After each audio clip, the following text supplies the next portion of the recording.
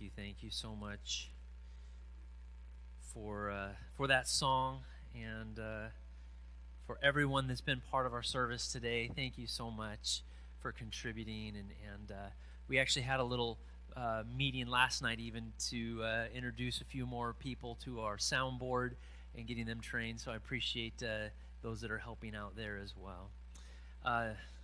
time of refreshing. Ah, that sounds pretty good, doesn't it?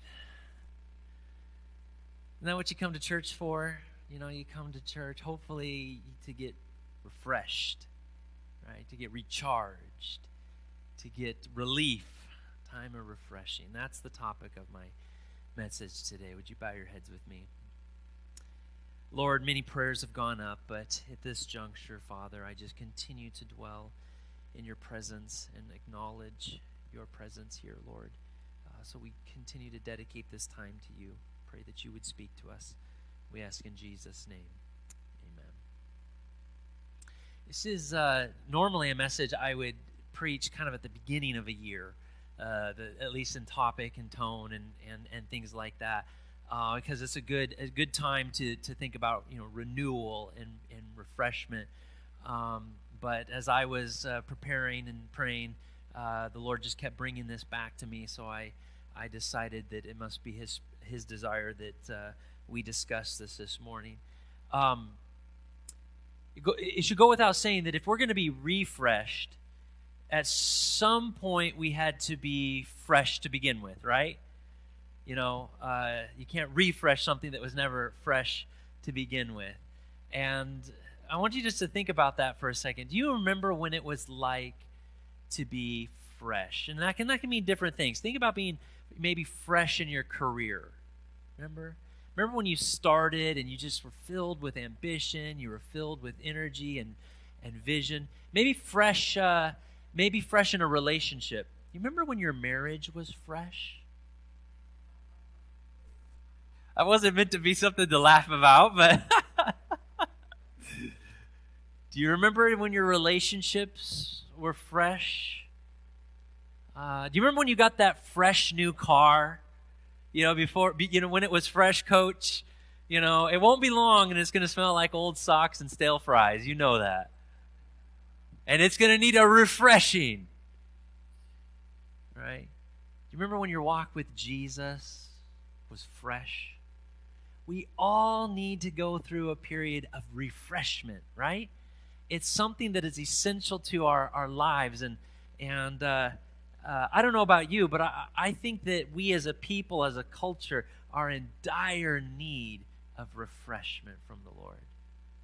I, I, I say that for myself and personally.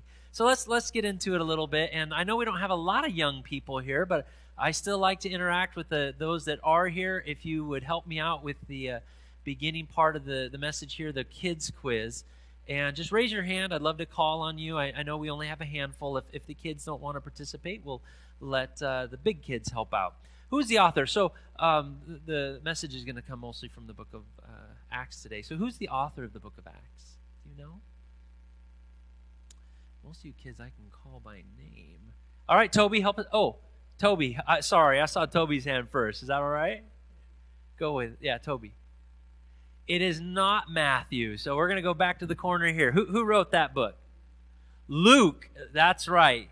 Luke is the author of the book of Acts. And when you combine Luke's gospel with the book of Acts, that means Luke gives us about one fourth of the New Testament.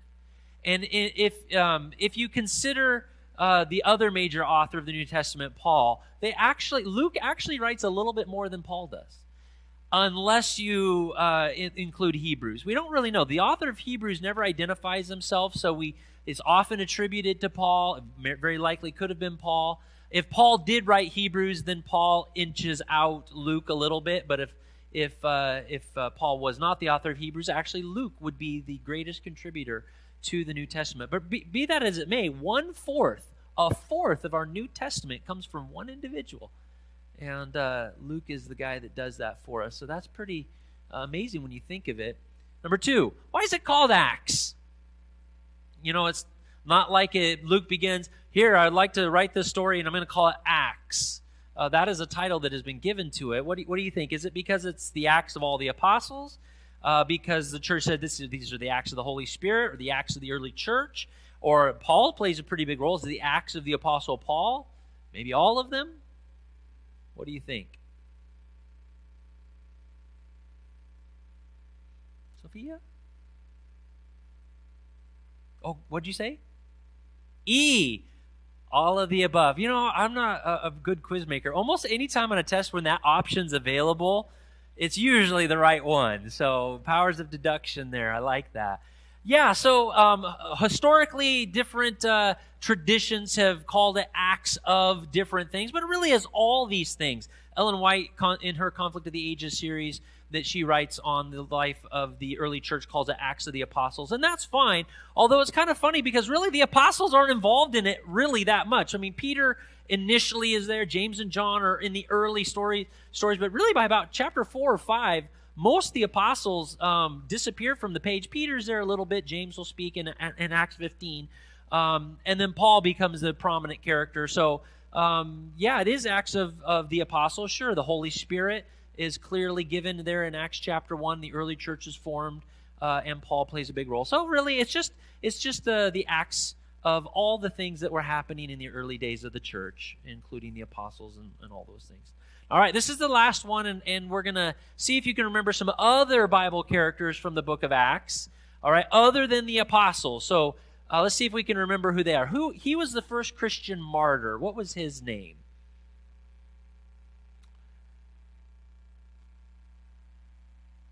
Okay, are you pointing at Leah or at Jacob? Yeah, your dad's calling you out here. Or you're pointing you're pointing this direction, so I see my son's hand up. I know his hand's up, but I'd love to have some others involved. I'm not going to twist any arms here. All right, Toby, what's his name? Stephen is his name. The next one, he was a traveling pal with Paul, and his name means sons of his name means son of encouragement. If you remember back to the sermon on Simon Bar Jonah, you know Bar means son. So traveling companion with Paul, and his name begins with Bar. Oh, I'm really stretching you here. You, you, do you know this one? Is it coming to you? Now your friends are letting you down, aren't they? it's not Bartholomew. That's a good good guess. All right, Jacob's got it. He's going to help us out this morning. Barnabas is who it was. She died but was resurrected. Sounds like something worth remembering, someone's resurrection. What was her name? She actually has two names. We used to have a ministry in the church that was named after her, but it uh, is no longer an active thing. You remember who she was? Toby? Dorcas or Tabitha? Dorcas or Tabitha? All right, next one. He preached to the Ethiopian. Remember the story? The Ethiopian was there reading the book of Isaiah, and he was reading out loud, and, and this gentleman came up and said, Do you know what you're reading? He said, How can I understand unless someone explains it to me? And he said, Perfect, let's talk about it. All right, here in the back. It's Philip, and this is Philip the deacon, not Philip the apostle. This is Philip the deacon. All right, she was the first Christian in Europe. The very first Christian convert in the continent of Europe was this lady. She was a seller of purple. Do you remember? All right, we'll come back here to you. It is Lydia. Yes, Lydia, the seller of purple. First Christian in Europe was Lydia. Last one, he was in prison with Paul. Who was in prison with Paul when they, at long about midnight, began to sing, and then all of a sudden the chains rattled off and the, the gates of the, the cell open wide? All right, you think you got this one? Silas. Silas is his name. Yes, Silas is his name. A lot of great stories from the book of Acts. All other kinds. There's Apollos and Ananias and Sapphira. There's three Ananiases in the book of uh, of uh, Acts, and uh, John Mark is there, and we we meet Timothy for the first time. Pretty important stuff. Last week, um, my message came from the book of Exodus, and just so you can understand why it's not necessarily a random thing each week. Uh, some pastors may have, you know, and from time to time the messages don't always, connect. But there is some connective tissue between last week's message, which you all loved and remember in every detail, and are just still uh, relishing over. Um, and there's there is still uh, there's connection between that last week's message and this. And, and keep in mind that Acts is kind of like the book of Exodus in the New Testament.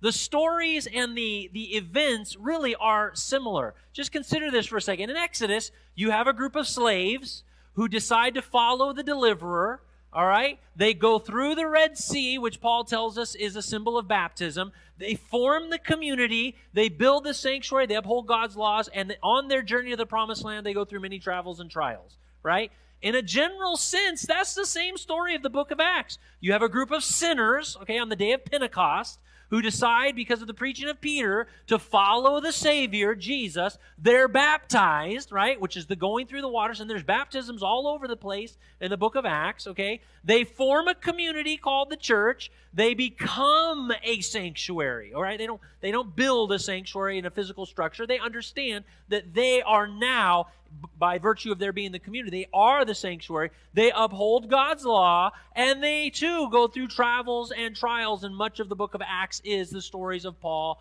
traveling and his trials and trying to uh, bring the knowledge of salvation to other people. So, really, in, in a lot of ways, Acts is the the New Testament version of Exodus, at least in theme and in development of the story. So there is some tie-ins there, and um, uh, I'll, I'll bring out a, a couple more here before the end of the service. If you have your Bibles, turn to Acts chapter 3 and begin in verse 11. I, I want to share something with you too. It dawned on me uh, just this week. When I first began preaching, I didn't use PowerPoint.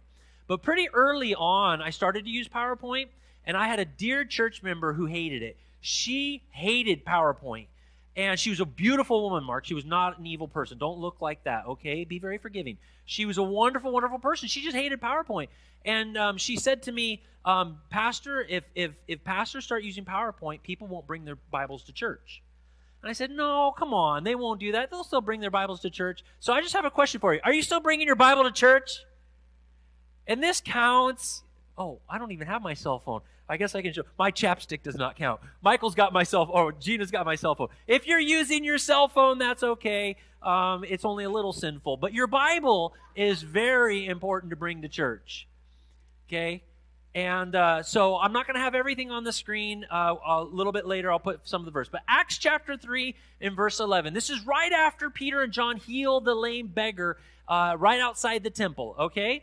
And beginning in verse 11. While the beggar, the, the healed man who just been, you know, uh, he went walking and leaping and praising God, you know the song, okay? Right, at, right after he's healed, it says, while he was clinging to Peter and John, all the people ran together uh, to them at the so called portico of Solomon, full of amazement. They've just witnessed a miracle. This beggar, the Bible says that he had been lame from his mother's womb. So this was not a recent thing. He was he'd been there forever. He was a recognized part of if you're going to go to the temple, you're going to pass by the lame guy, right? They knew who he was. So they're full of amazement. Verse 12. When Peter saw this, he replied to the people, Men of Israel, why are you amazed at this? And I, I just, I love the audacity of that statement. They just witnessed a miracle, right?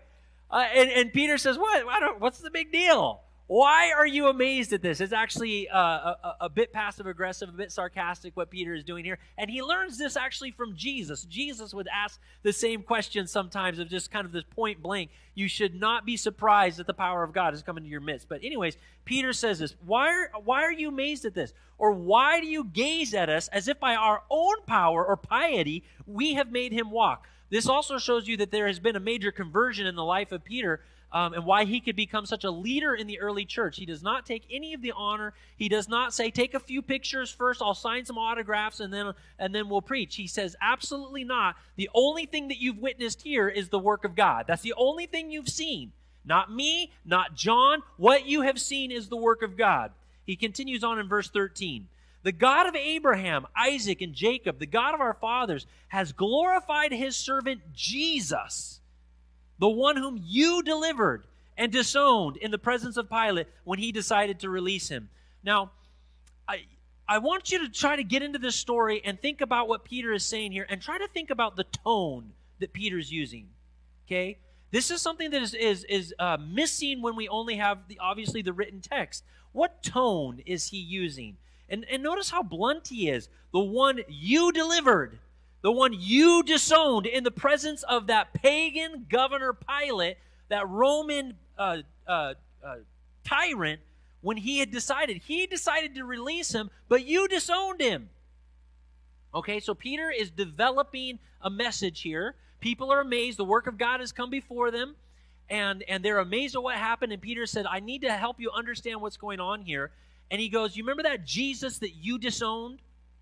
Okay, just keep that in mind and think about the tone.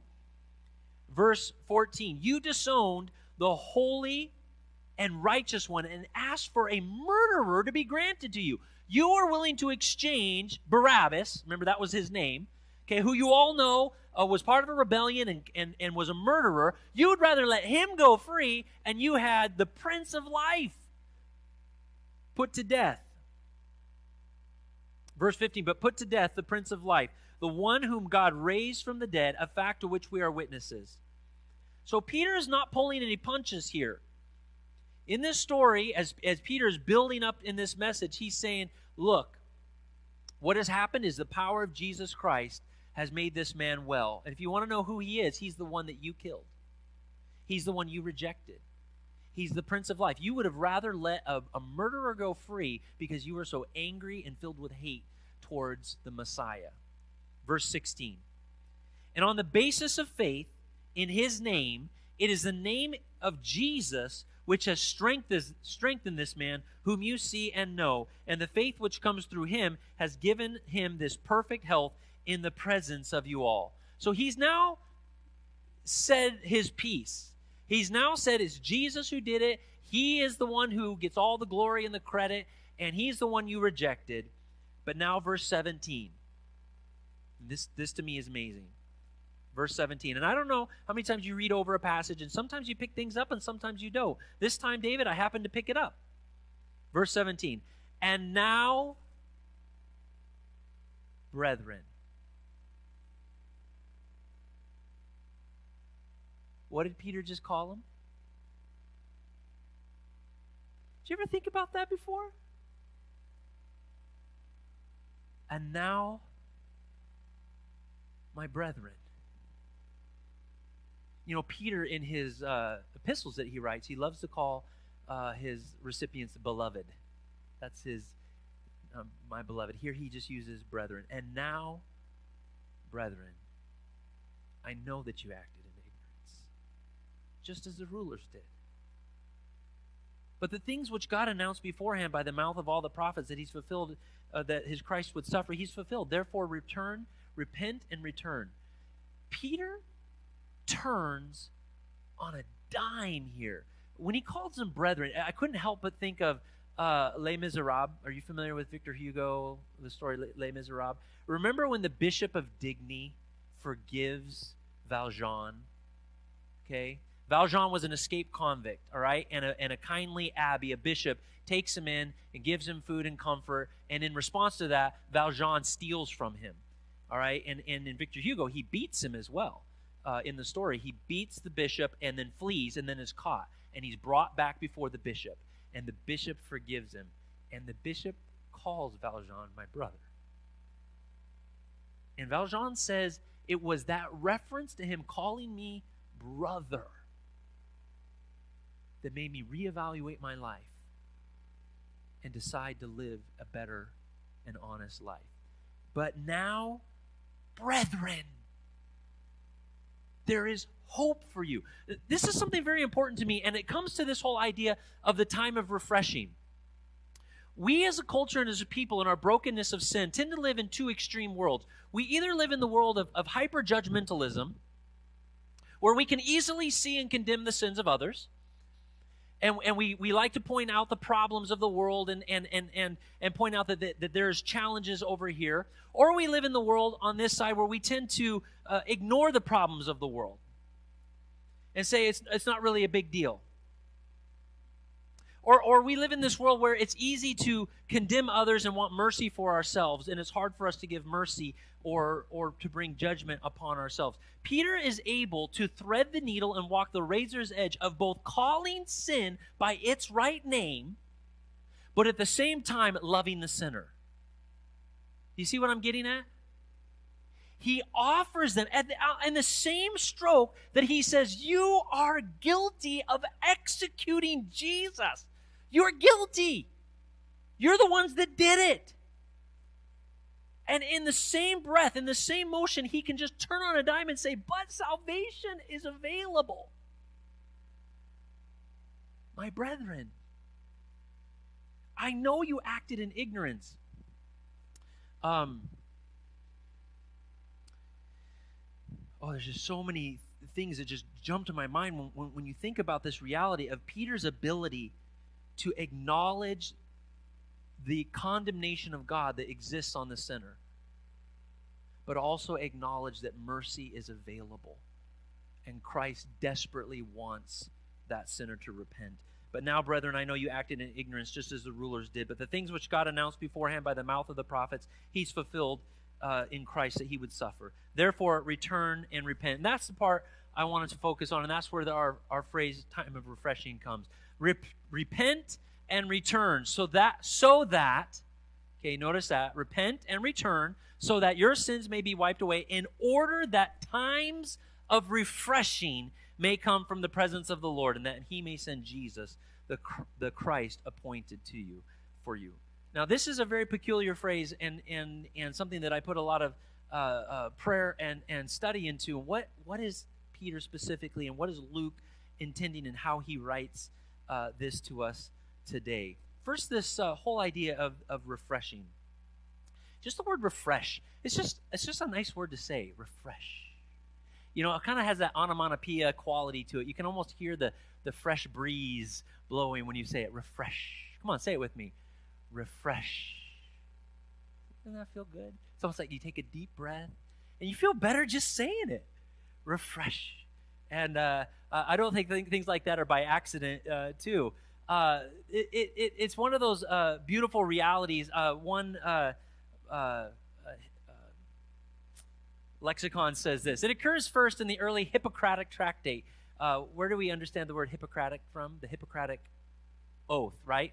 Okay? In the Hippocratic Tractate, where it denotes the drying out and healing of an open wound, which the surgeon has left exposed to the air when bandaging a broken limb. What was Luke's occupation? Do you remember what Luke did for a living? He was a doctor. Is there is it any surprise he would use this this terminology and word? By the way, he had other words he could have chosen, very similar words, uh, when he chose this Greek word for refreshing. It's actually only found two times in all the Bible, only once in the New in the New Testament, and only once in the Greek Old Testament. He picks this word for a very specific reason, and him as a physician, understanding its medical application and term, chooses it. It's anapsyxis, in case you're wondering. Uh, it denotes the drying out and the healing of an open wound. Isn't that a that's that's what refreshment is, right? It's when the wound is healed or when when the uh, the healing process is being renewed. Uh another lexicon says this. However, the entire expression may be reconstructed, so to say, so that the Lord may cause you to have relief from trouble or cause you no longer to be troubled. I like that too. Relief from trouble or no longer to be troubled. Do we have trouble in our world right now? Is there a little bit of trouble happening in our country? It seems like there's nothing but trouble. I know that the playoffs are going on right now. There's still things that we can enjoy. It's not all a wet blanket, okay? But in a larger case, in a, in a more direct way, it seems like that's something we really need as well relief from our troubles. How many of you, if you are being honest right now, would say in the last week you've had at least some trouble sleeping because of stress? Few of you? How many of you would say in the last week or so you've had at least some stress in relationships because of trouble? Yeah. oh, we need this refreshment that we're told about here. We need this relief from trouble. We need this healing of an open wound. It means relief, respite, rest, alleviation, or liberation. Now, the only other place this word occurs, and by the way, um, the New Testament authors were extremely familiar with the Greek Old Testament. That was the Bible of their day, okay, called the Septuagint. That is uh, what they would have known. And, and an educated person like Luke would, would have known exactly and precisely the words that he's using. And I find it very interesting that the only other place this word appears in all of the Bible is in Exodus chapter 8, verse 15. And it's in the story of the plagues. And it's when the uh, Pharaoh says this when the Pharaoh saw that there was relief, and there's the word relief, he hardened his heart and did not listen to them as the Lord had said. Peter, or more precisely, we might say, because Luke is taking the words of Peter and putting it in Greek, Luke chooses a word for relief and respite and refreshing that goes back to the Old Testament as a reminder that God still wants to bring relief to people and we need we should not be as Pharaoh and harden our hearts when that opportunity comes to us. Notice too that he applies uh, Peter uh, in, in, in Acts chapter 3 will immediately after talking about the, the time of refreshing and restoration say this. Uh, I put verse 21. It should have said verse 22. I'm sorry. Moses said, he quotes Moses The Lord God will raise up for you a prophet like me from your brethren. To him you shall give heed to everything he says to you. So he immediately goes to the story of the Exodus and to the words of Moses after he makes this comment about the time of refreshing. So I think that there is a clear uh, uh, application and understanding that the same experience of relief and, rest- and restoration that the uh, people were to experience at the time of the Exodus is supposed to be found today in Jesus Christ as well. So, here, uh, very quickly, I want to show you what Peter does here to uh, help people understand how they can find refreshment. Before he says repent and return, he does something else. Okay? He, when the people first ran to him and, and, and were amazed at the healing, G, uh, excuse me, Peter could have just said, uh, This is wonderful, guys. What you need to do right now is you need to repent. But he had to do something first. He had to make sure they saw Jesus for who he was. Right? So the very first step in our finding refreshment, in our finding this, this relief and this alleviation and this healing of an open wound uh, that we want to experience, if we're going to follow what Peter does to us here in Acts chapter 3, is we really need to see Jesus for who he really is. And how are we going to do that? Well, there's lots of ways. I'll suggest to you we need to see him in his word, through his works, and in worshiping him. This is where Jesus reveals himself in the most direct and prominent ways. And notice this relationship between cleansing and the word. John chapter 15 and verse 3. Jesus says, You are already clean because of the word which I've spoken to you. There is a renewing, refreshing, and, and, and reinvigorating experience just through experiencing the word of God. Have you ever had that in your life before? Where through your study of the Bible, through your experience of, of devotions or something, you're, you, you just feel that, that God is doing something powerful in your life. Jesus says, You're clean. You have experienced cleansing because of the word. In, in, a, in a more spiritual way, sanctify them in truth. Your word is truth. What is sanctification? It's a cleansing of the soul. And in another place in Ephesians, husband, love your wives, just as Christ also loved the church and gave himself up for her, so that he might sanctify her, the church, having cleansed her by the washing of water with the Word. So, the Word of God is where Christ reveals himself and brings a refreshing, cleansing experience.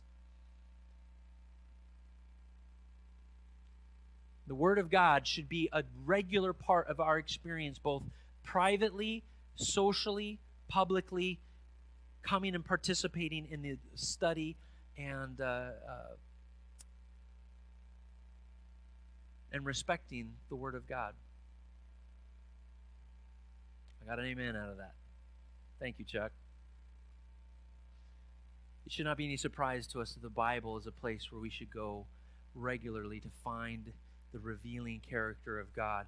Also, His works, His miracles that He does every single day, recognizing that we are part of His creation, and then in our worship together. What, as I mentioned when I first started the service, isn't what we do here supposed to be a refreshing experience in the presence of God? I think we're doing something wrong if you leave this place feeling burdened. Now, sometimes we need the burden of the Holy Spirit because He's working on our hearts, right? So sometimes that's necessary. But whenever we worship together, there should be a renewal of energy and focus and refreshment. But secondly, we need to repent. Now, you say, uh, well, what does that mean? I mean, I don't really think that I've done anything terrible this week. What what do I need to repent from? I want you to notice this uh, statement from Review and Herald. The closer you come to Jesus, the more faulty you will appear.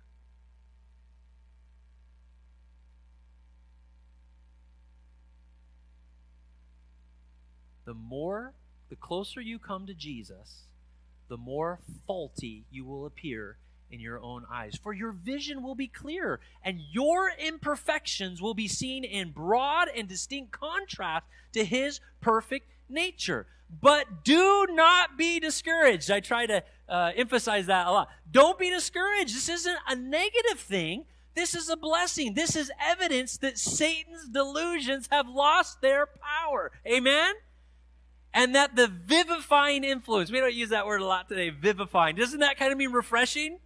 Right? To be revived, the vivifying influence of the Holy Spirit of God is arousing you, and your indifference and unconcern are passing away. It is impossible for a Christian to say, I'm growing closer to God, but I am not at any more fault today than I was yesterday. It is impossible. It is impossible to grow in our relationship and walk with Jesus Christ and remain the same sinner that we were. It does not work that way. We have not reached our ultimate complete perfection in the light of the character of God.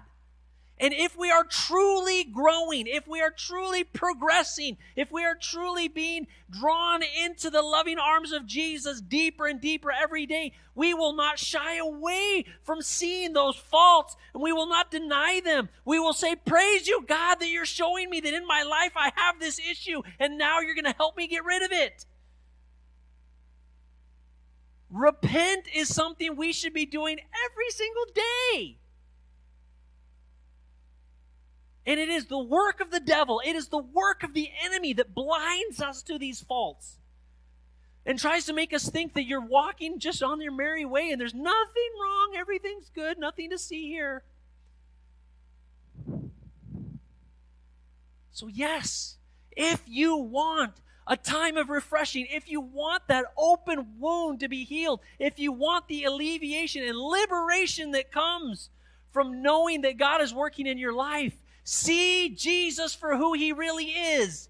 Get to know him through his word, through his works, through the worship that we have together. And as he, through his Holy Spirit, reveals the areas in your life that are still broken and needing refinement, give them to him. Repent. Repent and don't be ashamed. Don't, don't, don't deny. Accept that he is doing a marvelous wonder in your life. And then, thirdly, return or turn to God, we could say. Later on in Acts, Paul here speaking to, I think it's Agrippa, he says they should repent, repent and turn to God. It's the same idea. Turn to God, performing deeds appropriate appropriate to repentance. In other words, if you have repented, then you need to turn from that sin and live in righteousness. Okay? If you've been struggling with uh, gossip and you've acknowledged that and the God has revealed to you, then stay away from those areas that are drawing you into that character assassination practice. Okay? If God has revealed to you that you need to give up alcohol, don't go to the bars anymore. If God has revealed to you that pornography is an evil in your life, then you might need to get rid of the internet. But to continue to dwell in those and to continue to expose yourself to those very sinful things that you know are wrong shows that you have not turned. And you've not given serious conviction and commitment to the refreshment that God wants to have in your life. See Jesus for who he is every single day through his word, through his creation, his works, through the realization of what he's done in your life, through the worship experiences offered in the church and in Bible study groups. Repent as you grow closer to Jesus and he reveals in your life the areas that are weak and broken. And then follow Jesus with all your heart, mind, and soul by turning to God and performing deeds appropriate to repentance. Ninth volume of the testimonies. Our faith at this time must not stop with an assent to or belief in the theory of the third angel's message.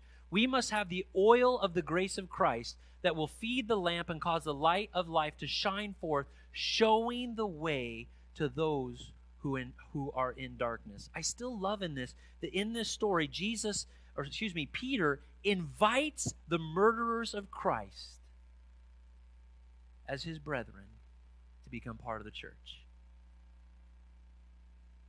Is that amazing to you?